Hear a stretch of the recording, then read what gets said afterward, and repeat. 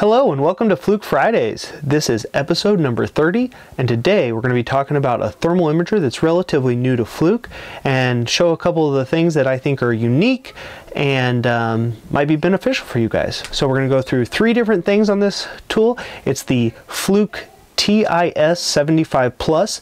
And the three things we're going to talk about today is how you blend IR Fusion. I like the new uh, way that Fluke has had the user interface with that, as well as dew point, where it can do color alarm on dew point, and also it can do radiometric, um, radiometric or temperature reading video.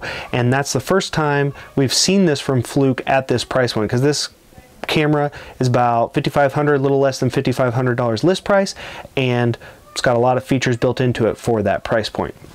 Okay, so as we look at the tool, comes in a hard uh, like ammo box that you see a lot of the uh, Fluke cameras come in. And here's the tool. It's the uh, TIS 75 Plus.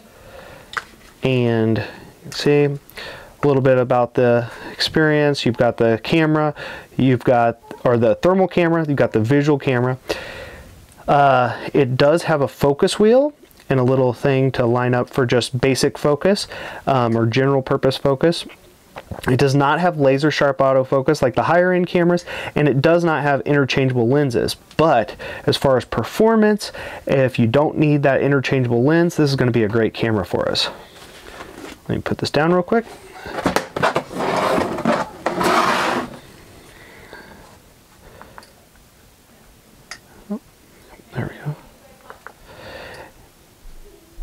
Okay, so it heated, it warmed up for us, and we're gonna have some camera.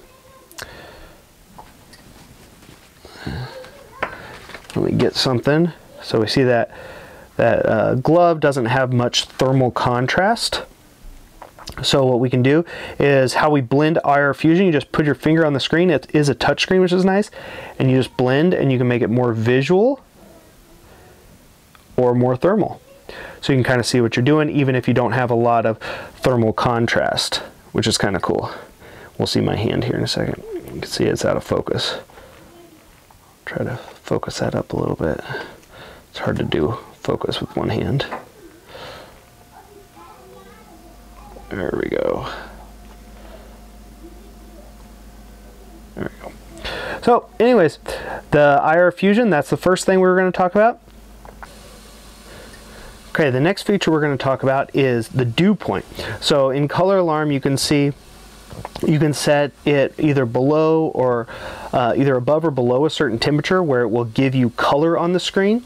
And in this case, we're going to use dew point to decide what that color is. And this is a great uh, tool if you're wanting to see, you're in a basement or somewhere and you want to see where would I need to set this to see if it's below this temperature, it's going to condensate water and then have the potential, because it's the dew point, it's going to condensate that on water will condensate on that surface and then potentially give you mold.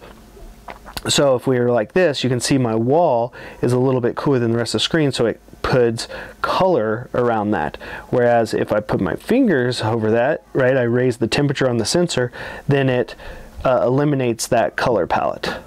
So this is a way if you set it, obviously I messed with it in my basement just to give you an example, but if you set this to actual ambient temperature and actual relative humidity in your environment, then it would show you exactly where the potential for water condensating will be and the potential for uh, mold to be grown. So that's kind of cool for uh, building inspectors. And finally, we have video. So in the video, go into capture settings, video, and we have the ability to record fully radiometric video, which means every single pixel on the screen is actually um, is actually capturing the temperature for the entire video. So what that allows you to do is pause it in the software at any point, put a, uh, a temperature measurement anywhere on there and see what the measurement of that specific pixel would be. So those are the three things I'll talk about right now. I might make some videos to actually go through these a little bit more, um, not just those features, but some of the other features, and uh, we'll talk through that Oh, one last feature I almost forgot is there's a feature called asset tagging um, in some of the other cameras, but this is the highest end camera that has asset tagging. And you have the ability to scan. We recommend a QR code. Um, I don't recommend using the barcode. It can do a barcode, but the barcode is a little more finicky. The QR code will take it every time. And then you can get that into your software and it will either put it in certain folders based on that asset tag or um, within Fluke Connect you can do it as well. So that's a really cool thing if you just want to go out, you want to put QR codes on all your assets, you could do that and then go through, scan the asset, take a, the thermal image of it, and then upload them all later, and then have them all put into the right folder or um, categorized by Fluke Connect.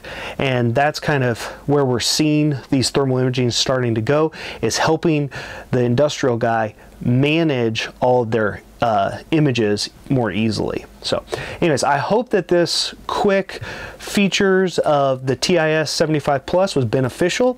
Again, the four things we went over today was radiometric video, uh, asset tagging, the IR um, fusion change with the user interface if you scroll your finger back and forth. And what was the last one? You guys probably know. I wasn't paying attention enough maybe I'll put that in here in a second. I'll put in a comment when, I remember. And then um, finally, if you if you like this, if you want to see me go more in detailed on some of this TIS 75 Plus, leave it in the comments below. If you have questions or you use the camera right now, let us know that as well. And uh, subscribe and like. Thanks. Have a great weekend.